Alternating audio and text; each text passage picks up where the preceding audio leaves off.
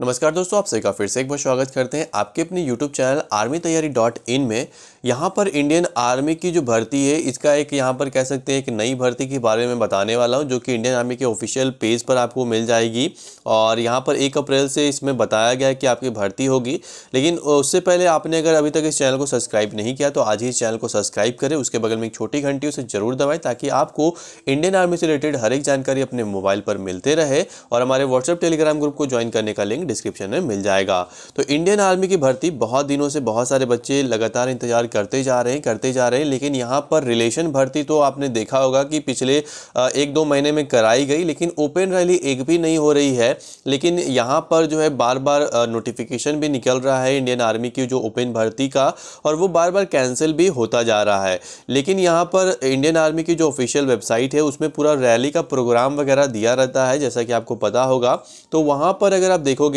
तो यहाँ पर जो है कहा जा रहा है कि एक भर्ती है, जो कि यहाँ पर कराई जाने वाली है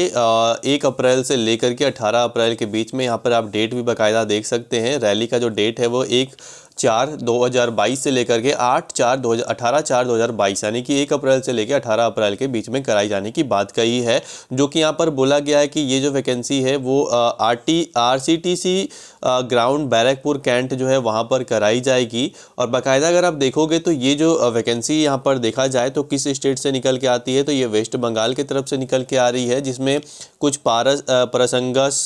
नॉर्थ यहाँ पर हो गया, या फिर हुगली हो गया, पुरुलिया हो गया, बांकुरा हो गया। तो ये सब जगह पे बोला जा रहा है कि आपकी जो है रैली बेसिकली कराई जाएगी यहाँ पर ये बताया जा रहा है। लेकिन यहाँ पर देखना ये है कि आ, क्या ये भर्ती होगी कि नहीं होगी क्योंकि ऑफिशियली जो आ, इंडियन आर्मी की वेबसाइट है उस पर लिखा हुआ है कि ये भर्ती जो है आपकी